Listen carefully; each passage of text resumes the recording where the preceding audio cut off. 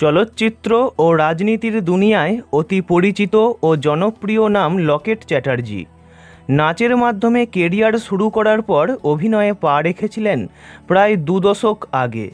তারপর অভিনেত্রী থেকে একটা সময় রাজনীতিবিদ হয়ে ওঠেন লকেট চ্যাটার্জি।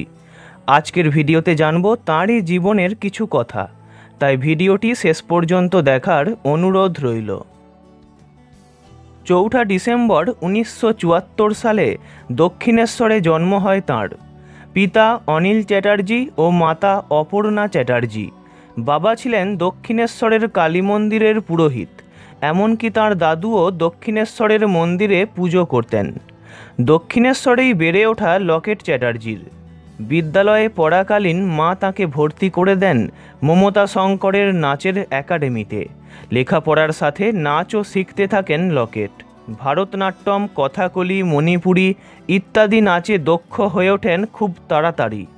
মমতা শঙ্করের সঙ্গে অল্প বয়স থেকেই নাচের অনুষ্ঠান করতে থাকেন বিভিন্ন জায়গায়। ক্লাস এইটে পড়াকালীন নাচের অনুষ্ঠান করতে বিদেশেও পাড়ি দেন তিনি।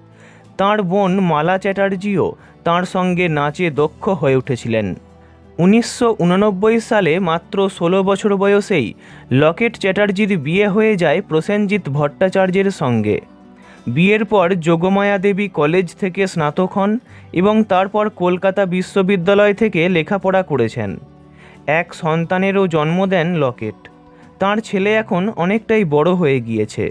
মা অন্তপ্রাণ ছেলের। স্বামী ও ছেলেকে নিয়ে সংসার জীবনে ব্যস্ত লকেটের অভিনয় জগতে আগমন হঠাৎ করেই। দু হাজার দুই সালে একটু ছোঁয়া নামক বাংলা ছবিতে তার প্রথম অভিনয়।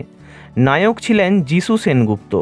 তারপর মায়ের আঁচল, পরিবার, অগ্নি, ত্যাগ, শুভদৃষ্টি, গুরু, কর্তব্য, ক্রান্তি, অভিমন্যু, চাঁদের বাড়ি, গ্রেফতার, ফাইটার, খোকাবাবু গোড়ায় গন্ডগোল লে হালুয়া লে ইত্যাদি অনেক ছবিতেই অভিনয় করেছেন। তবে অভিনেত্রী লকেট রাজনীতিতে নামার পর থেকেই অভিনয় করা একেবারেই কমিয়ে দিয়েছেন।